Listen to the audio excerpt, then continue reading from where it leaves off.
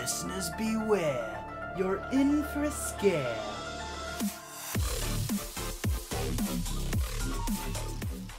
This episode Lucy Jones in Deep in the Jungle of Doom. I'm Troy J. Malcolm, and this is Pick a Path Podcast, and I'm joined by Lucy Jones. Hello. Question: Are you going to do that intro voice the entire time? Please, please, please, please, please. You want me to just hold that intro voice all the time when I'm reading? Great. And like, just you know, in regular life. In regular life? I can definitely give it a go. please. Lucy Jones is a producer. They were an executive producer on From Top to Bottom, a queer comedy detective mystery film.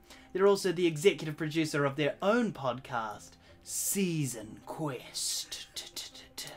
Adding my own echoes because I'm not sure if we'll add them in post. I mean, I wouldn't. You've you've got it down pat. Oh, thank you. so Lucy and I are also on a Dungeons and Dragons podcast together with two of our Sure. other friends. Uh, Charlie, who was in last season, and Tom, who's going to be coming up later this season. So exciting. Yeah. so yeah, we've got our own Dungeons and Dragons podcast, Season Quest. You can find it in places, and I'll do an actual ad of it at the end. Excellent. That's what I need an advert for it. A teaser for the ad. Exactly. Uh, trailers. An ad ad. Ad ad is great. I love ad ads. So you're going to be joining me today for the season two first episode. Premiere. premiere of season two, Deep in the Jungle of Doom, which is the 11th Give Yourself Goosebumps novel by R.L. Stine. I'm actually going to hand it over to you so you can have a look and talk about the cover quickly. Okay, first off, I just need you to know I love it. Yeah, good, good. It's got a terrifying um fish person, and I'm pretty sure this is the guy from Shape of Water. Ah, if yes. you remember the fish from Shape of Water, um, I think it's his brother. he's a he's purple instead this time, and also far more malicious seeming. It does seem spooky. um, choose from over twenty different scary endings.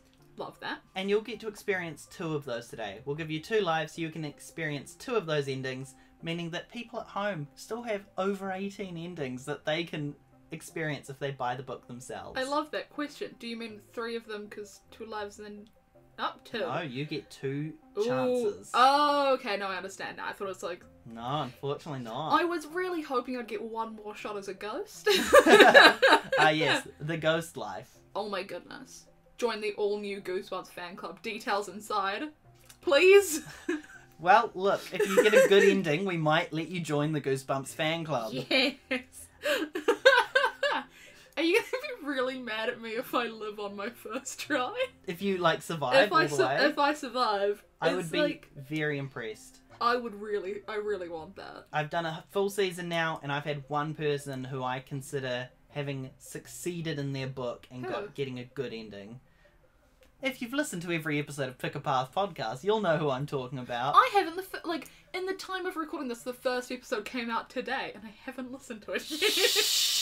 We don't want people to know we film these in advance, even if in episode one we do say 2019. Tell is- me, tell me who lived. uh, Molly Mason managed Yo. to survive her entire book. I'm proud. She did. She died within the first like 30 minutes, but then she survived for another hour and 10 minutes to get like the correct ending where she completes every part of like the story that had been set up for her.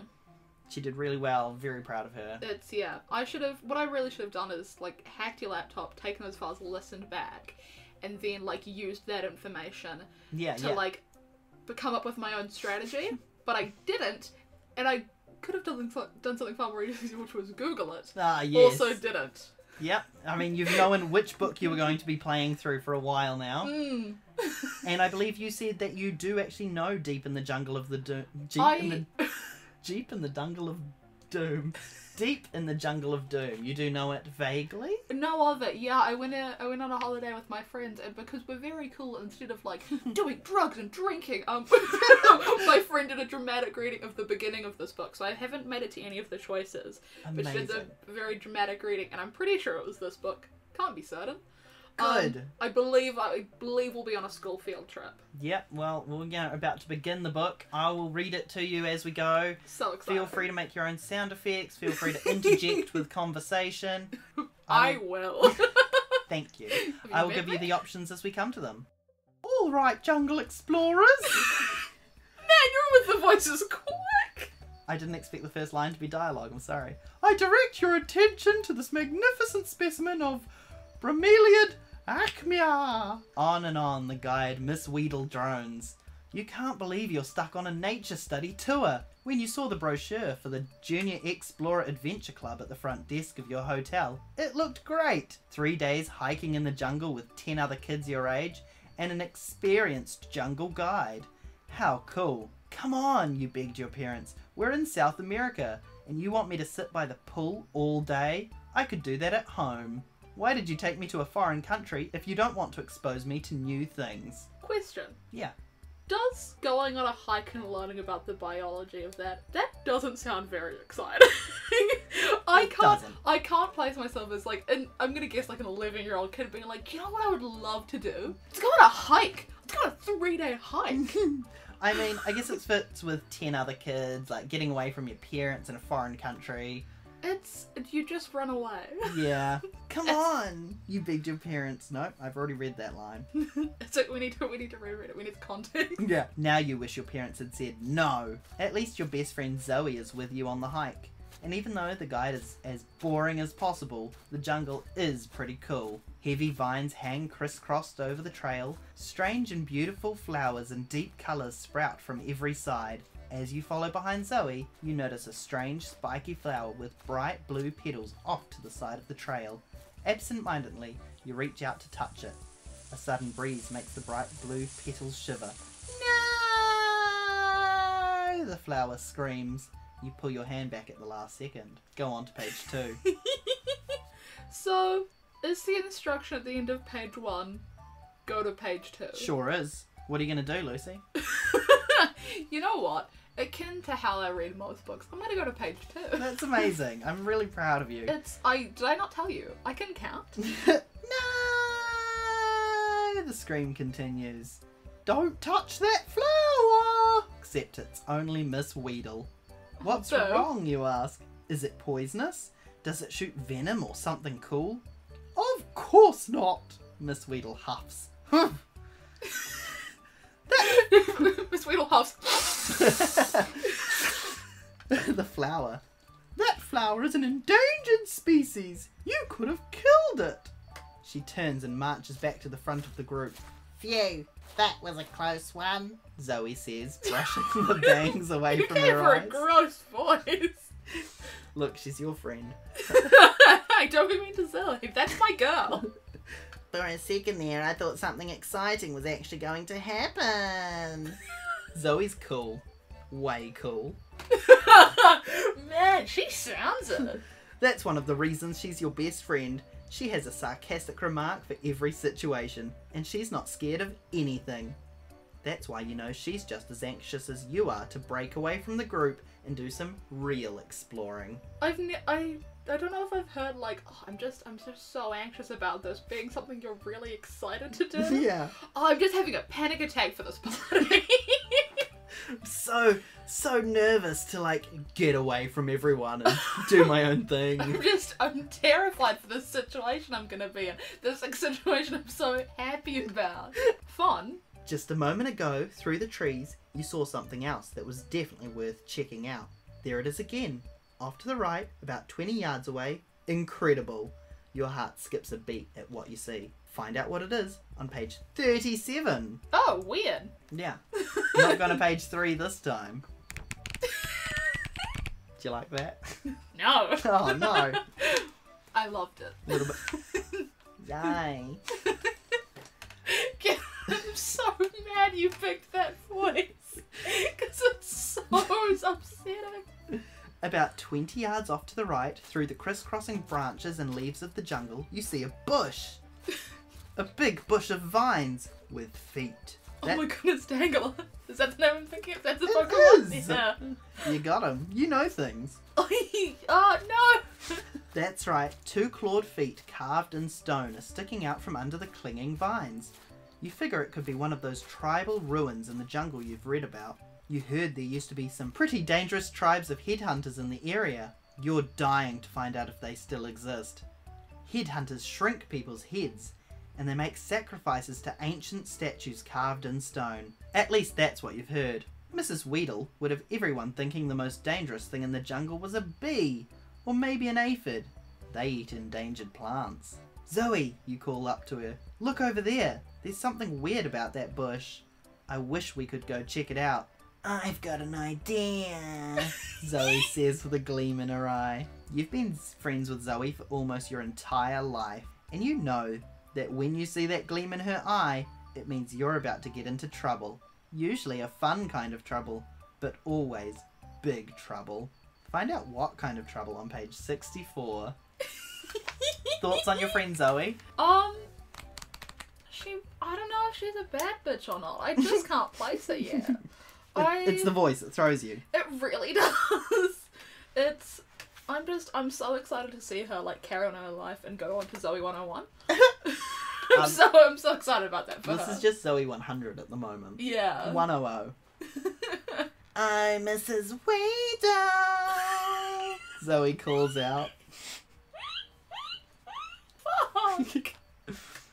I'm too good at that voice. I don't know. Like I've never done this voice before. Is that that came from deep inside? this That's- is. I think this is my real voice. yeah.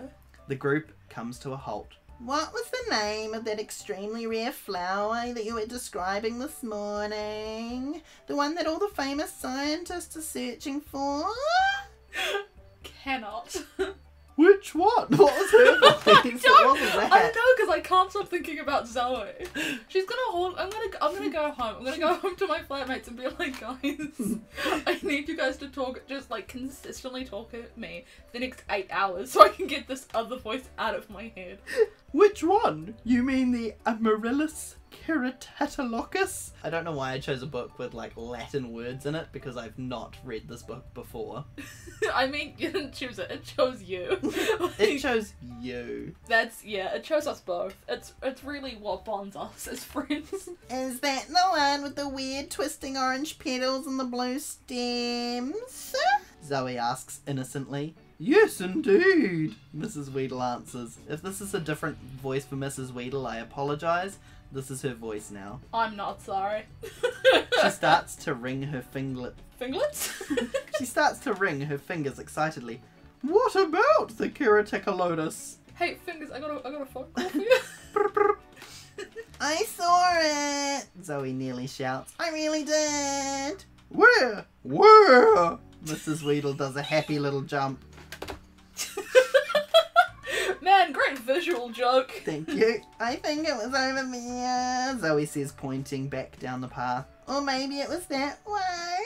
She says, pointing to the left of the group. We should split up and search for it, you suggest. All the kids start talking at once. Now's your chance to sneak away. Quick, sneak over to 42. As you can see, you're being given plenty of choices already. It's yeah. It's just testing if I can read or not. And I say this, you're reading it to me. This imagine if an audiobook did this. Being like, and now I'm just gonna switch over to this. I don't know why I've done the phone calls call symbol. um and yeah, now I'm gonna jump from like this thing to this thing. I'm like, you don't have to tell me. Yep, It's it is the illusion of choice. it is. But you know, you need to be aware of what the situation is before you get really thrown into the conflict. Yeah. I need I need real context before I can make choices in life. I'm kidding, I've never done that for anything ever. I moved into a different city on a whim. we joke, I did it. You would do it if Zoe told you to. She's cool. Is she a bad bitch? I've decided she's a bad bitch. You and Zoe dash off the path into the jungle. You hear Mrs. Weedle yelling behind you, Quiet! You can picture her, red faced and out of breath. All the noise settles down and Mrs. Weedle starts talking again. You stay very still and listen from your hiding place behind a big tree. We've got two hours of hiking left to get back to our campground for the night. That gives us until three o'clock to find that Keratatolocus. Now, everyone, follow me! It worked.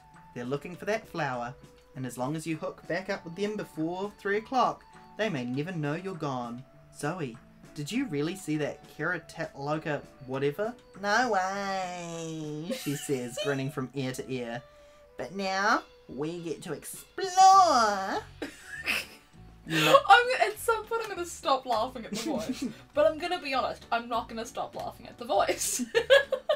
You make your way through the dense leaves and vines before the stone feet that caught your eye before. Here it is, Zoe, you shout. There must be a statue underneath these vines. You both get a good grip on the creeping vines and yank them back. Your blood runs cold at what you see. Rush to 47. So have you ever travelled to South America or anywhere else interesting like that? I yeah, I've done some travel. I've never um had a friend called Zoe. oh, I'm not immersed anymore. oh, there goes the realism of the story. Yeah, yeah. Um, but also, I don't know, the idea of being a kid and going on a holiday with like your best friend, that kind of rules. It does. like I've I've done like small trips with friends. Mm. But like even then, like the only time I've gone like on an actual holiday with a best friend is we had to plan ourselves. We went without our parents and I was seventeen. So like And that was filled with the uh, Goosebumps books, not drugs and alcohol, or a different trip. Uh no, different different trip. Uh because I'm very cool. Uh me and my friend went to a convention in Australia. Amazing. And also, really, uh, we went to um, RTX in Australia, and uh, we decided we'd go together the third time we'd ever talked to each other. Amazing. I know, because we're both very again on a whim. it's the first time with her being like, "Oh, like your screen background is this thing from this thing." I was like, "Oh, yo, nice." And then we had another conversation and another class, being like, "Oh, like d- d- you big fan of this?" Da da da. So we talked to each other for maybe ninety seconds in total. And she's like, "You going? You going to Australia this year for this convention?" I was like, "I am now." Good. Well, we love it when things work out. Oh yeah, still very good friends to this day. Good. Well, let's hope that you and Zoe remain good friends when you find out what's under these vines. I'm I'm gonna have to tell my friend I'm gonna replace her with Zoe. That's true. Does I your friend have an interesting voice? I wish. what a dramatic sigh. right. Also, your friend hears this and is just like, "Wow, Lucy thinks I've got a boring voice." she knows. I say it to her face every day. Which is weird because we don't live in the same city. The creeping vines fall to either side of the statue. A hideous gargoyle carved out of gleaming white stone grins out at you. It has crazy, bulging eyes and long, sharp teeth. It looks like some kind of mutant cat creature. It's really creepy, Zoe says. It gives me the shivers just looking at it. I what happened to her being fearless? Also, is it is Gargoyle a creature or is it because it's on the corner of a building? Because I just don't. In, in my head, I was like, I feel like this jungle doesn't have skyscrapers. No, I thought gargoyles were a type of creature. But then I I- guess it says mutant cat creature. I don't know. Maybe, maybe, I guess all maybe of my we're maybe we're in a concrete jungle. maybe this is set in Where- New York. where dreams are made of. Yeah. That's the second time in three weeks we've made a New York joke. It is. Check out Pick a Path podcast, episode four, where we discuss concrete jungles. No, I'm thinking season quest. That's what I meant. What did I say? Pick a bath. This one. I was like, whoa, you did this with someone else too. I wish. Jealous. Yeah. Whoa, I wasn't around. I'm not with you every day of my life. You realise my next character for season quest is going to use Zoe's voice. It's not. It's not. I promise. I wouldn't let you. I would. I would kill your character off because I'm going to be DMing. Good. That really shows the timeline of this. Get ready for me to be a DM. Yuck. Whoa. what other word am I meant to say but yuck in You're this right. situation? You're right. Then you hear something else. It sounds like a low, deep growl. It sounds like it's coming from the statue. You feel a hot blast of stale smelling air on your face.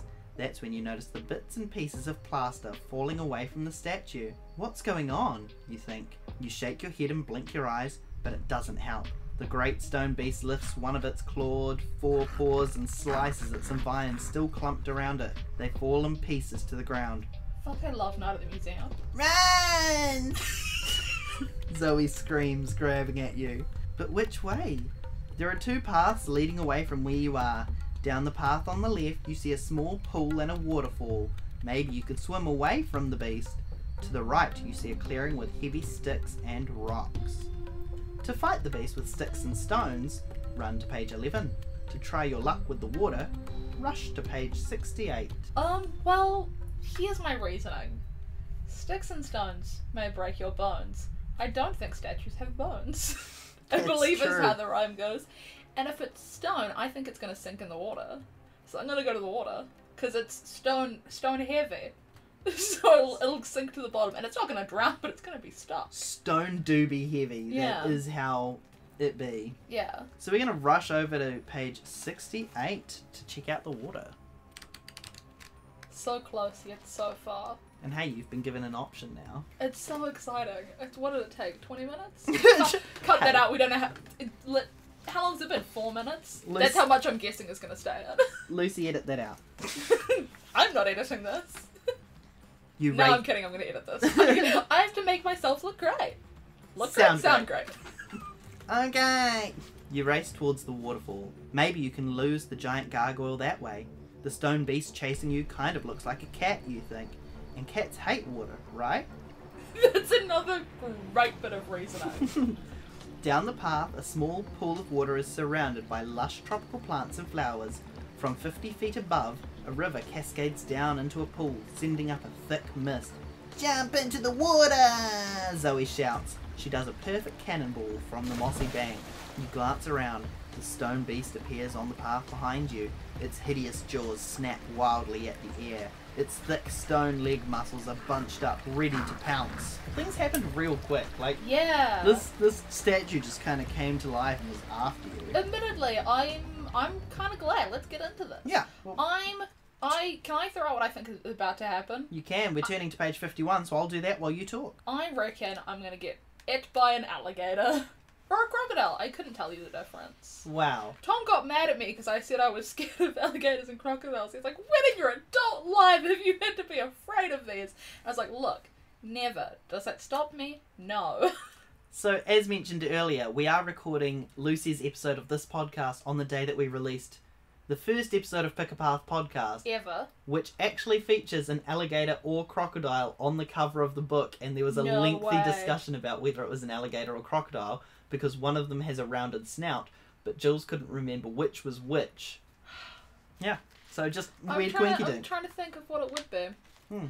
I'm gonna say Uh, C for crocodile is rounder than an A for alligator. Those, those are That's- quite arched and angled. that's unless it's a lowercase a. No, you're right. Um, I'm gonna say alligator's got rounded, rounded schnoz because I think it sounds rounder. it it does sound rounder. Alligator, like Yeah, yeah. rou- crocodile. Let us know in the comments below if we're incorrect. Can I tell you right now? Probably. you I'm, I'm gonna have a guess. Probably. You stare into the crazy bulging eyes of the stone creature. It looks like a little Chinese parade dragon, you think. It's baring its teeth at you in a hideous grin. You've got to make your move. Since the beast is made of stone, it probably can't swim. Hey, There's only one catch. Neither can you. Wish I'm we'd- sorry. What? Desperately, you cast your eyes around. On the ground next to you, there's a big stick. You'll definitely need something if you're going to fight off that gargoyle. Then again, maybe the stick would help you float if you jumped into the water. You pick it up. The gargoyle swishes its tail angrily and licks its chops with its huge, gravel coated tongue. What's it gonna be? Risk drowning or take your chances with the beast? Better make your move before it pounces. Are you going to fight the stone beast with the stick, or are you going to jump in the water with the stick? This is mean. It's give, it gave you the choice of jumping into the water, and now you it's like, You can't swim. yeah, It said at the beginning, like, oh, like all I've been doing is like sitting beside the pool. I could do that at home. I assume he also has a pool at home, and yet he can't swim. that's why he sits next to it. Yeah, but like, oh, He, uh, he, it's you. yeah, sure. no, I don't care. um, still, Yeah, Like, sorry, I- can't like- swim. Please. I I cut my own hair because I watched people do it for long enough in my life that I could do it myself. Mm. I reckon I could do that with swimming. Uh, well, Even though I can swim, I reckon if I watch people swim for genuinely 45 minutes, I would know enough. that's fair. So, do you think you're going to fight the stone beast with the stick, or are you going to jump in the water with the stick? This is all about the stick, really. It's really, yeah. I mean, it's just, it's stone. It's not going to do anything if I hit it with a stick. That'd be like attacking the Washington Monument with a baseball bat. Nothing. I don't know why that's. I watched Hamilton the other day, Ah. and so I've been thinking about it a lot. It's. I no, I'm swimming. I'm swimming. I'm sticking with my game plan. Swim. Cool, we're heading over to page 78. Let's see if it pays off.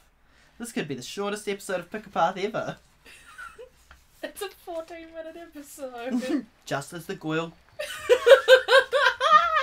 the Goyle. hey Goyle, how are you? right?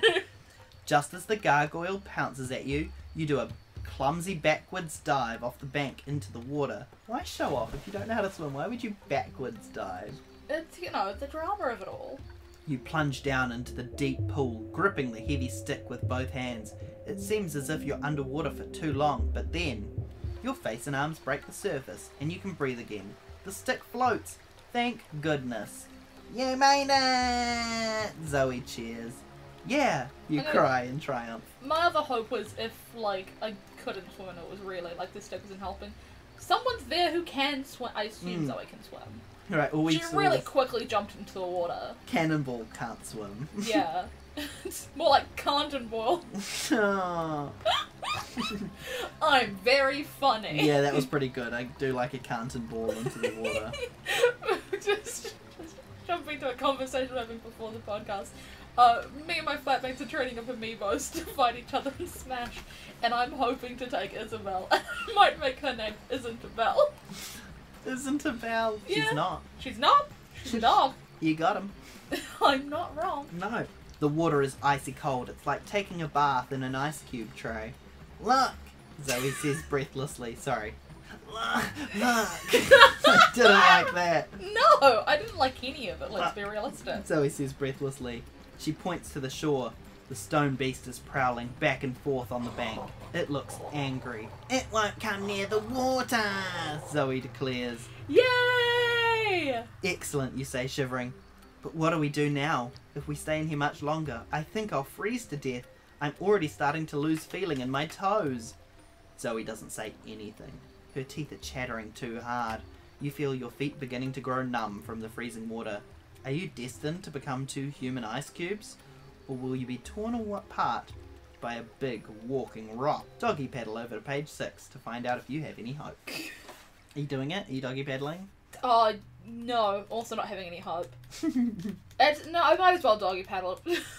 Again, I don't, I don't, I'm not getting to make choices here. That's You've made two choices in the no, last. I'm like this is this is one where I don't get to make a choice. I don't want to be filled with hope. You're right. They're gonna take it away from me. Grrr. The gargoyle growls at you from the shore and slashes. Oh, is that not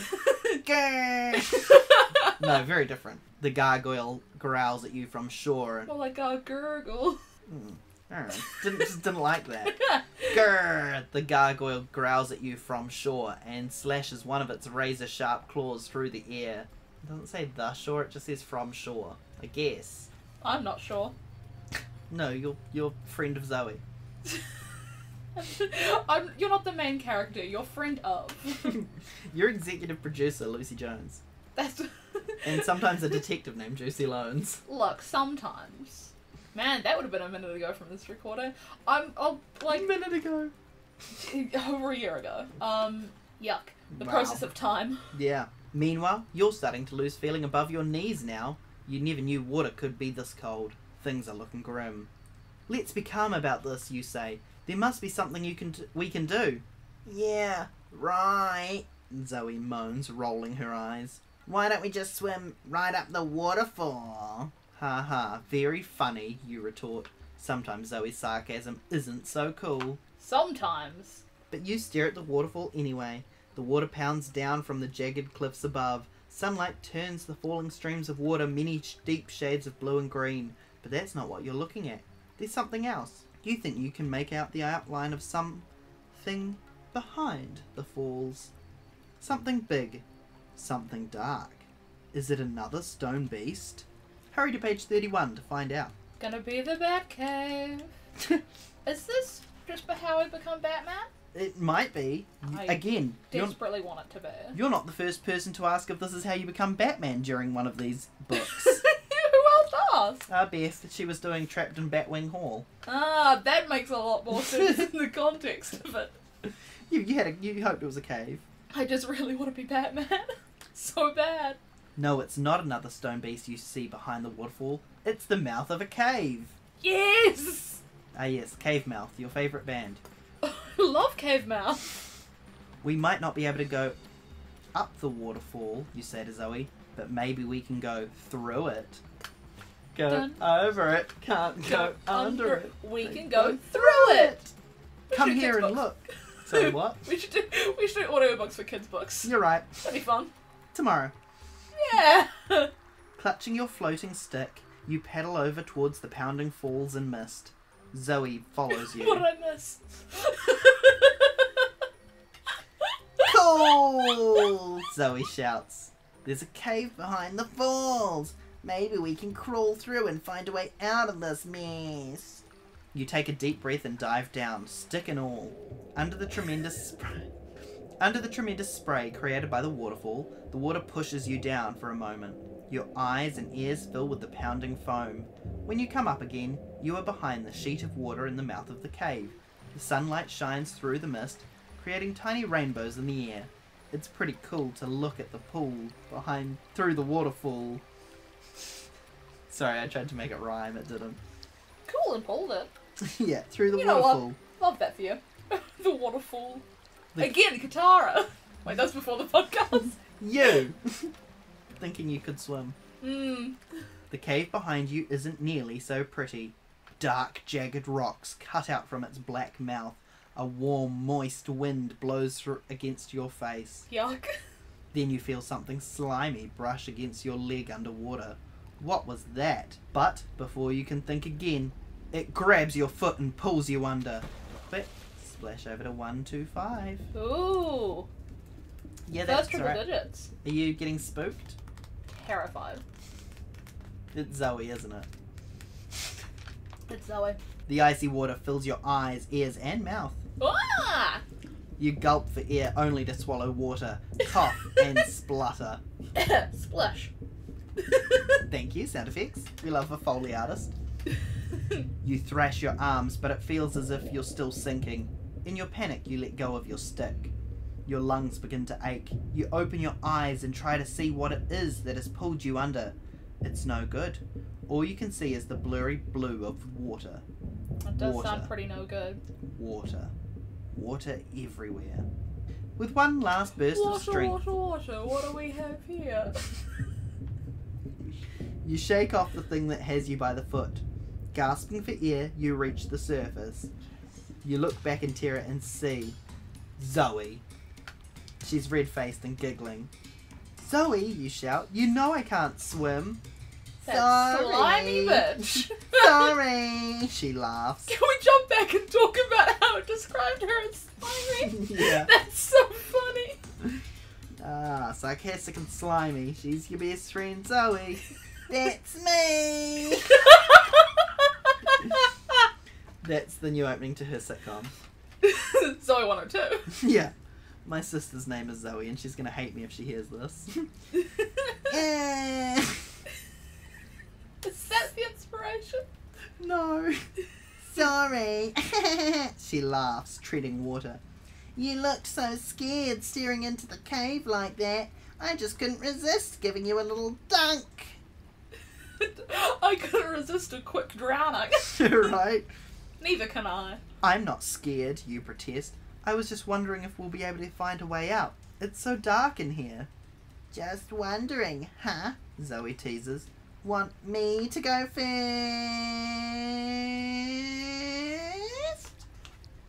You get to choose. Do you want Zoe to lead? Or do you want to go first? Zoe goes first. I also I reckon this is going to be fine because like there was a breeze coming out of the cave. That means there's an ending at a point. Hmm. It might not be big enough to get through, but like there's that's how caves work. That is that do be how caves work. Yeah. Otherwise it's just a hole in a wall. Yeah.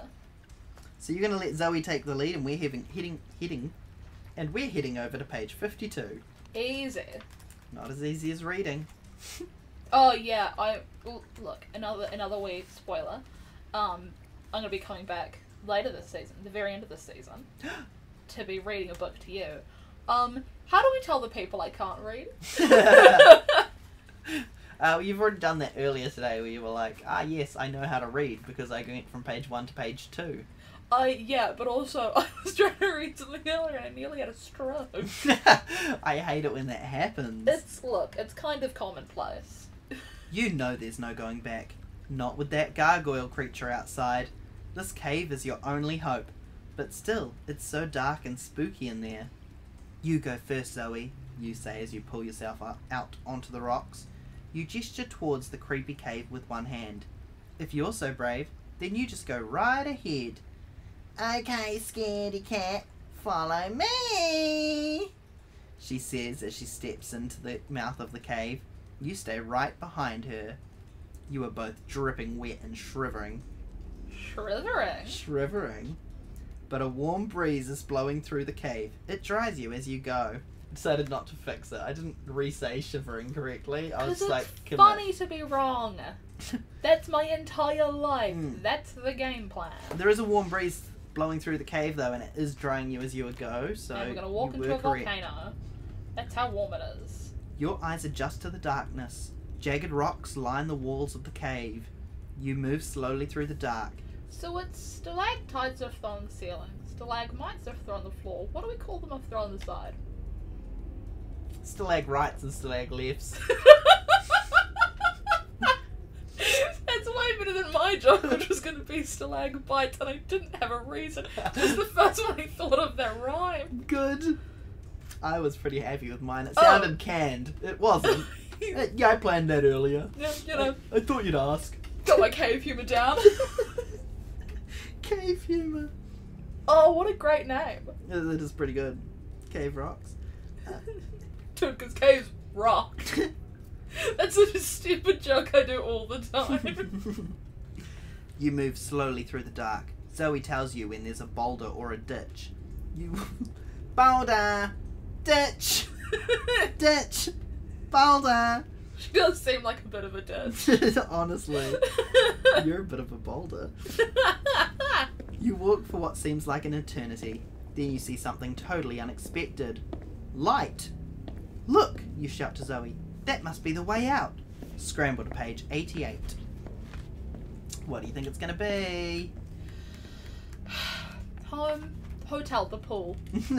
ah, yes. It's your parents with torches. They're gonna save the day. We've done it. Zoe speeds over the rocks towards the bright light. You hurry to keep up. You can't wait to get out of this cave and meet up with your group. Even Mrs. Weedle is sounding pretty good to you right about now. But when you glance up, you see you have stumbled into some sort of large underground chamber. The light you saw was not from the sun, it was torchlight, cast by hundreds of blazing torches that decorate the room you now stand in. Oh my goodness. Zoe nervous. Oh damn it! This is this. We've jumped into a Dungeons and Dragons podcast. Ah, I yes, lost this for us. This is a dragon. Obviously a dungeon. Got him. What is this It's an ad. An ad for an ad. The cavern is so tall you can't even see the ceiling, but the floor is covered in soft carpets. At the end of the room, a small pyramid rises. It looks just like the ones we studied in ancient history class, you whisper, pointing to the pyramid. Yeah, but this isn't history. This is now. Check out that throne, Zoe says in amazement. At the top of the pyramid is a golden throne, draped with what appears to be tiger skins.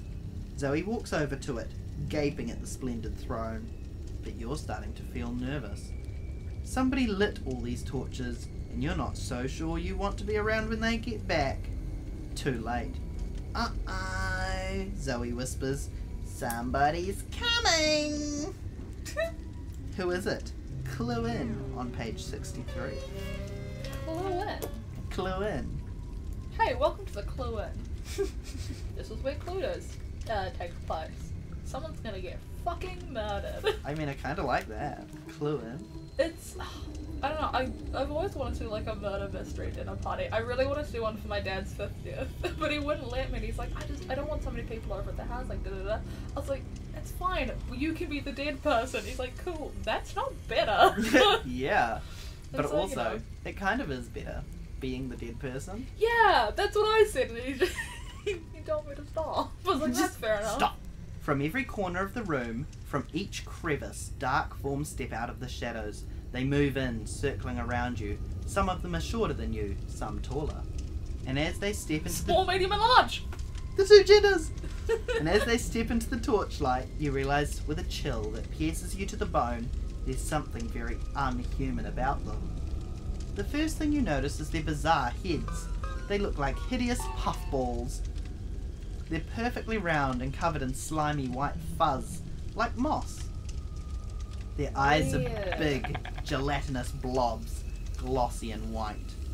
You're almost too grossed out by their heads to notice, but their bodies are covered with heavy, grey, rock like scales instead of skin, as if someone dipped them in glue and rolled them in a gravel pit.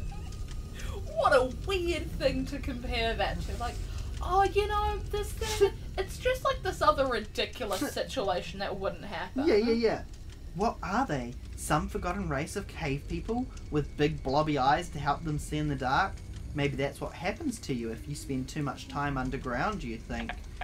They are moving in on you and Zoe. Your knees are starting to feel shaky as they draw nearer. Are they friends or enemies? Rush to page 91. I'm gonna say they're friends. Well, Like, you can I- only hope. I can only hope. Like, the theme of this book, like, you're in for a scare is kind of the goal. Um, but, you know, You want don't to judge a book by its cover. Yeah, or by Which its we did. title or brand or anything else. Yeah. So we're heading over to page 91. Yes. I'm getting so, like, I, I was already into this and I'm getting more into this. I'm like, I gotta live. What do these bizarre cave people want from you? You wonder as they come closer and closer. Look up there! Zoe yells. She points to the pyramid. All the creatures fall to their knees suddenly. A huge figure appears on the throne at the top of the pyramid. He must be ten feet tall. His face is covered with strange slimy moss, like the others, but it is gold coloured, not white. And huge horns stick out of each side of his big spongy head. He wears a robe of animal skins. I love him. Greetings, he booms. He speaks English. Is that a line? Yep. Yo! The cave creatures draw uh, towards you. Maybe they just want to What say hello, like their king. then again, You gonna ignore me? No, I'm gonna ignore my ignore you. very funny joke? Yep. Okay. why are they surrounding you if they are friendly? In a flash, you scan the cavern for an escape route. They are all around you. But off to your left, there seems to be a gap. If you make a break for it now, you just might get away from them. Or you could stay and hear what the big king has to say. Who knows? He could be nice. Possibly. It's your choice. I wanna stay. I like him. So instead of making a run for it, you're going to hear the king out. Yeah, absolutely. Great, we're heading we're heading to page 107. Nice. I thought I kicked you, but the, that's a pair of shoes in front of us. I am a pair of shoes. Oh. You decide to hear what the king has to say. Maybe the king will show us a way out, you whisper to Zoe. Humans! His voice booms through the cavern. Come forward! Two of the rock people grab you, one on each arm. Their hands are covered in stone chips. The stones dig into your skin. Ow! You exclaim. What flavor chips? Let us go! Zoe cries. The rock people drag you both up to the top of the pyramid. They throw you down at the king's feet. Maybe you should have run when you had the chance. Turn to page 135. Nah, it's gonna be fine. They did this with the drowning. Try to scare you. Or, it's not gonna be fine. The king of the cave people peers down at you. All the features on his face are covered by soft golden fuzz. The thick horns stick out from the sides of his enormous round puffball head. He's so tall that you're getting a cramp in your neck from looking up at him. We live in this mountain. It is our home. You have trespassed here. He says as he lowers himself majestically to his throne. Zoe interrupts him. Excuse me, Mr. King, sir. I mean, Your Highness. I mean, whatever your name is. Her face is turning red. Yes? What is it, human? He asks impatiently. We're very sorry to have busted into your home like this. We really shouldn't be here, Zoe says, brushing her brown bangs out of her eyes, like she always does when she's nervous. Fearlessly. If you'd kindly show us how to get back out, we'd gladly leave. Ha! Ha! Very funny, bellows the king. All the cave creatures start snorting and chuckling. Silence! The king bellows, cutting his subjects off. He leans forward and grabs Zoe by the arm. Find out what happens next on page 116. Ooh. Getting spooky, Lucy. It's it's not great. No, I, It's not great. I haven't seen one shape of water fish person yet. Yeah, I don't. Maybe I don't know. He's got big eyes. It's not the same though. Like he's not mossy, No, not at all. and he's not stony, but he's kind of like I don't know. I'm sorry. Is the the taglines on the back is it's really a jungle out there. Yep. We knew that going into it. That's what jungles are. Jungles. The king gazes into Zoe's face and bellows, If you want us to show you the way out, you're going to have to earn it. He lets go of her and she tumbles back to the ground next to you. I shall set you a task. If you can accomplish it in a certain amount of time, I will let you go free. If you cannot, the king shakes his horned head sadly. Your Majesty, what will happen to us if we can't do it? You ask bravely. I will keep you here as my slaves forever! He roars. Roar! All the stone people snort and giggle as, their, as if their king just told the best joke ever. The king claps his stony hands three times. Bring forward the timepiece, he commands. Turn forward to page 120. Brings out a watch. Four servants hurry up the steps of the pyramid with a huge golden cage. Within the cage is an enormous hourglass. They place the timepiece in front of the king. The king points a stony finger at you and Zoe. You must bring me three pieces of gold from inside this mountain. His voice echoes through the cavern. You have one palooka to find the gold. One what? Zoe asks. One palooka, the king answers. It's our unit of time measurement here in the mountain. Pardon me, sir, you interject, but do you know what that breaks down to in human time? Do you know the Do you know the conversion rate there? Hou- hours and minutes, maybe? You tap on your watch to show him what you're talking about. I don't know, the king snaps. Here, take my pocket timepiece. He hands you a beautiful Funny. little hourglass in a silver box. It's so small it fits right in your hand. That was a gift from my mother, the king says, bowing his head. If you lose it, I will boil you in lava. He doesn't look like he's joking either. On the count of three, we flip the timepieces together. One, two. Quick, turn to page three. Funny. Very good. Um, Lava, you were right about the volcano. very excited about that. I feel like this, like I, I got Charlie. Uh, you guys saw him in episode nine, was it? Mhm. Yeah. Um, Mm, I got you. his. I, I read. I'm kidding. I can't do that. I got his watch battery replaced, and I think he was just like that. He's like, if you lose my watch, I will boil you in lava. Three! The king claps his hands three times again. And the servants flip the timepiece over. You do the same thing to the miniature timepiece in your hand. The sand pours through the glass. You tuck the baby hourglass into your shirt pocket. It fits perfectly. You have one palooka. Now bring me three pieces of gold, the king bellows. You glance around the chamber. There are tunnels everywhere. Come on, you shout at Zoe. Let's go. The two of you head for the biggest tunnel leading away from the chamber. You have one palooka to find the gold. Just how long is a palooka anyway, you wonder? Flip to page 58 to start your quest. I love. Oh, we're doing a fetch quest. This is so exciting. Now the question is, I reckon I'm. I think I should just run away while this is happening. oh? I don't think I'll get that option, but I feel like that's not a bad idea. But that sounds like there'll be consequences. You and Zoe race down the big tunnel. Where are we going to find gold? You wonder aloud to Zoe. I don't know, Zoe replies. It's not like your average scavenger hunt. Gold is pretty hard to come by.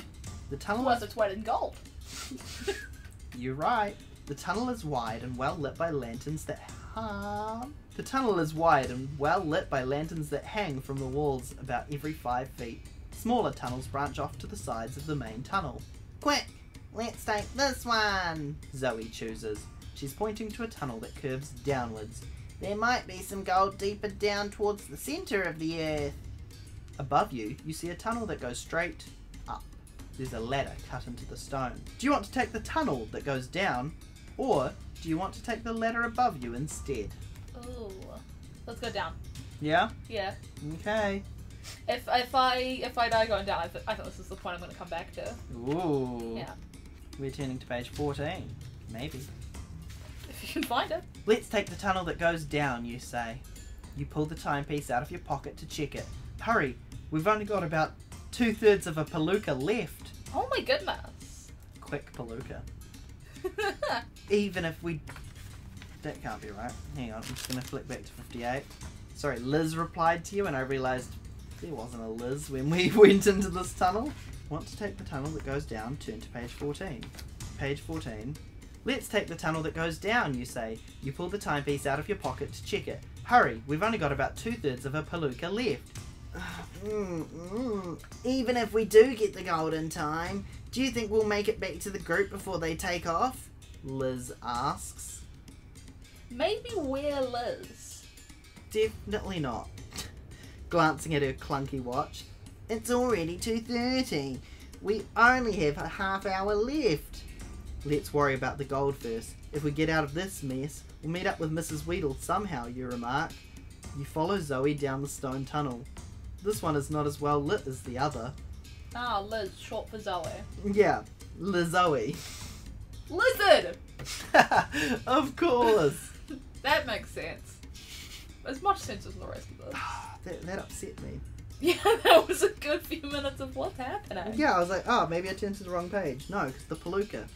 This one is not as well lit as the other. There is only one lantern about every 20 feet. Even though Zoe is right in front of you, sometimes you bump into her because you can't see her.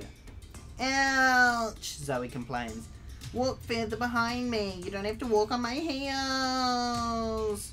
Sorry, you answer. I'll hang back a little. Get over it, Zoe. Or Liz. The tunnel twists. The two genders. The tunnel twists and turns. Zoe gets so far ahead of you that you feel as if you're alone. Your sneakers crunch on the loose rocks on the floor of the path. Doesn't sound very sneakery. The sound echoes down the passageway. You can hear your heart beating. Bum bum. Bum bum. Bum bum. Turn to page 33. In my head, that was going to be the, um, like, 21st Century Fox uh, theme, but then I, yeah, Yeah, but then yeah. I forgot how it went. yeah. What can I say? I'm a bit of a uh, film buff. You stumble along the darkly lit tunnel, listening to your heartbeat. How will you find three pieces of gold when it's so dark you can hardly see your hand in front of your face? Bum bum, bum bum, bum bum. Your heartbeat makes the only sound. I don't even hear Zoe's footsteps anymore, you think to yourself as you tramp through the passageway. Uh oh, Zoe did. That's when the tunnel ends. That's right, you walk smack into the rounded stone wall. You're in a small cave. Huge boulders block off the path forward. It's a dead end. Where did Zoe go? She was right in front of you. Your heartbeat speeds up. Boom, boom, boom, boom, boom, boom. Where is she? Look for her on page 104. Where could Zoe have gone? The tunnel is a dead end. There's no way out, and you were right behind her. Zoe, you call out. Zoe, where are you? Where are you? You, you, you, you, you. Your voice, your voice echoes back. That's when you notice the tip of a shoe sticking out from behind a boulder over to your left. It's a green shoe. The tip of it curves upwards, like an elf's shoe. Who's there? You demand. Turn to page 26. Quick. The Wicked Witch of the East, bro. She came down in a bubble and got crushed by a house. What was her sister? Are you gonna tell me that I'm wrong? Are you gonna tell me that I'm was wrong, by the way? and do you know what I didn't realize until like watching that for the thirtieth or fortieth time?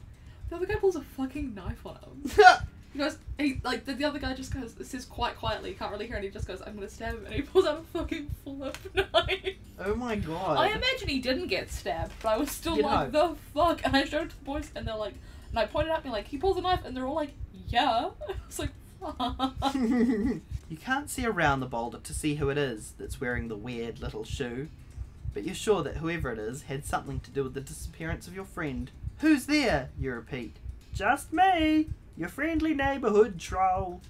A tiny man steps out from behind the rock. Funny. He carries a bright lantern that casts a flood of light into the tiny chamber. The troll is wearing a cute little mountain climber's outfit, complete with Aw. lederhosen and striped white and green stockings. A white beard covers his wrinkled face. He would look like a tiny clown, but he has an evil expression on his face. oh, boo. His mouth is set in a hard line, and his eyes, you realize with shock, are red. Where's my friend? you ask the troll. Well, that's no way to greet someone, the fellow snaps. He walks over to you. He comes up to your waist. My name is Cronby. What's yours? He extends his hand up to you. Robbie. He leans towards you with his hand out, scowling. There's something wicked in those red eyes. Do you shake his hand? Or do you avoid his handshake? I avoid his handshake. It's unlike you. You're usually so polite. I I'm just not very touchy. Also, I reckon that's what happened to Zoe. She would have been like, I'm not afraid, I'm gonna shake his hand. And zap, she's in troll land. Do hate it when you end up in troll land. It's yeah. It's a whole thing. Nice to meet you, Cronby, you say to the troll, burying your hands in your pockets. Have you seen my friend Zoe? The troll wrinkles up his brow, as if he's thinking very hard. Is she about this tall? He says, holding a hand up to exactly Zoe's height. With freckles and hair in her, in her face and, uh, not very good manners? Yeah, That's you my nod. bitch. That sounds that sounds like her. Yeah, Crombie says, sticking his hand in hands in his pockets and imitating you. I saw which way she went. Where is she? You demand. The troll sits down on top of a small rock and crosses his legs. I'll tell you where she went if you tell me what you're doing down here. It's not often we see human kids down here, he says with curiosity. To make a long story short, you explain, we were chased inside the waterfall, and we've got to find three pieces of gold for the king or be turned into slaves. Oh, you must be scared, he whispers. Oh, you must be scared. no, I'm not scared at all, you say with confidence. Not scared at all, eh? Crombie says, his red eyes glimmering. Well, you're in luck. Look what I have here. Flip to page 71 to see what he's got.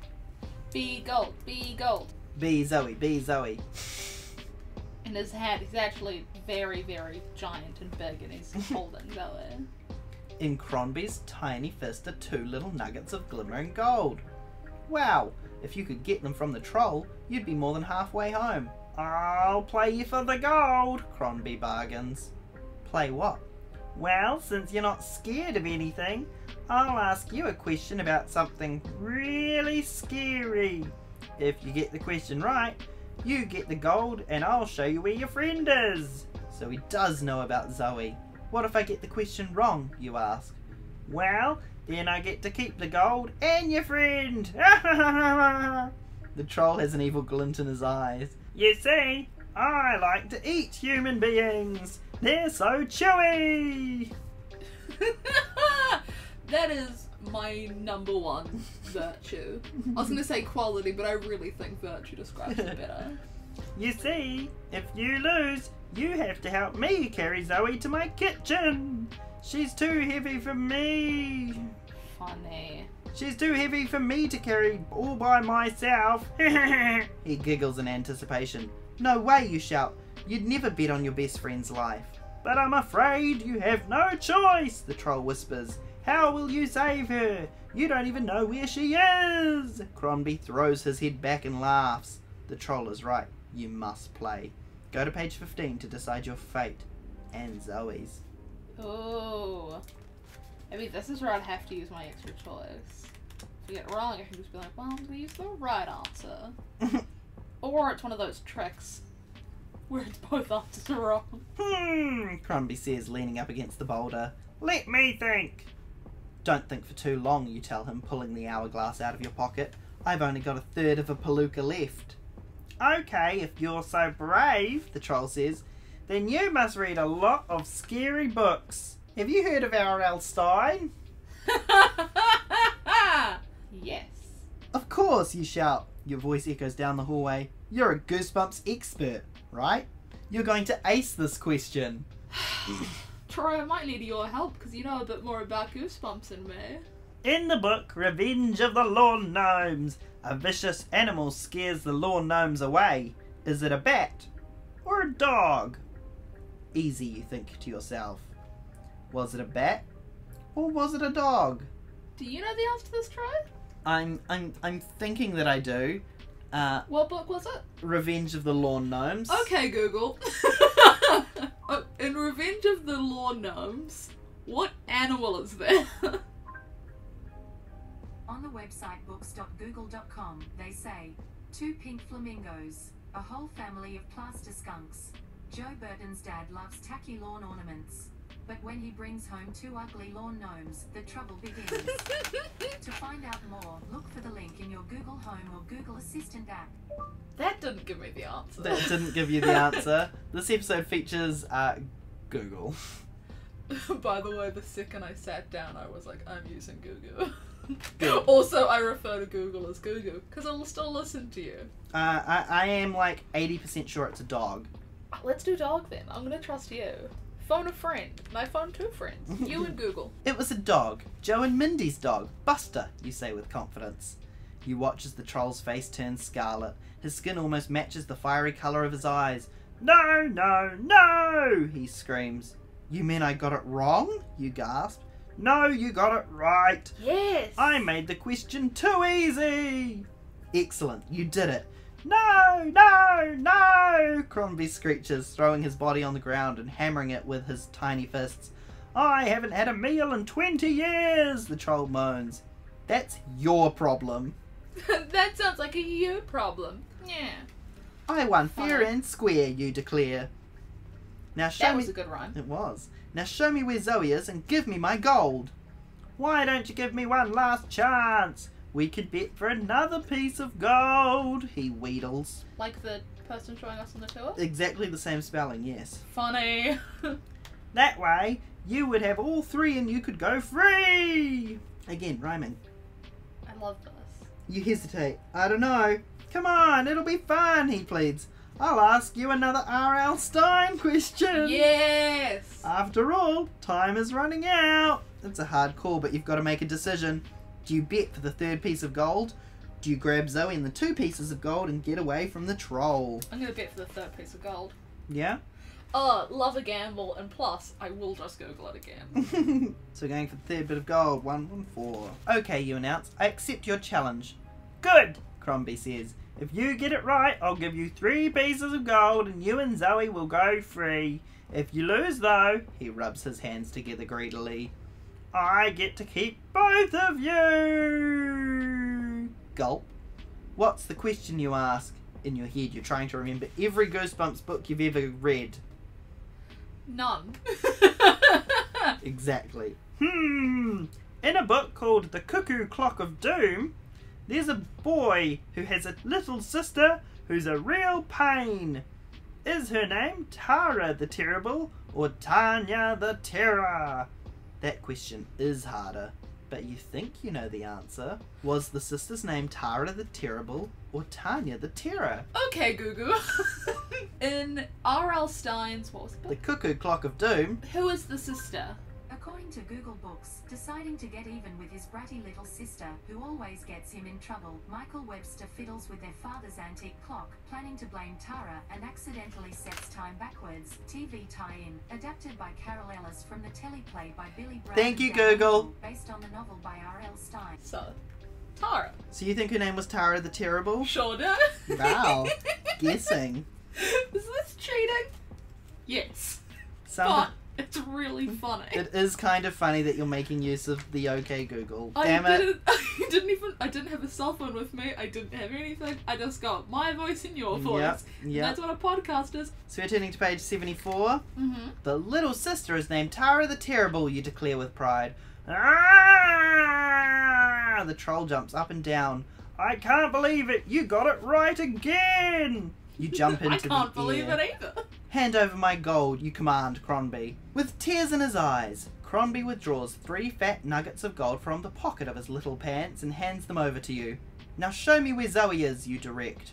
You check the timepiece. You still have about a fifth of a palooka left. You follow him to the mouth of the tunnel where Zoe is sitting, all tied up. Crombie unties her and scurries away. I got our gold, you exclaim. Oh, all right. She gives you a high five. How did you do it? You tell her the whole story on your way to the pyramid.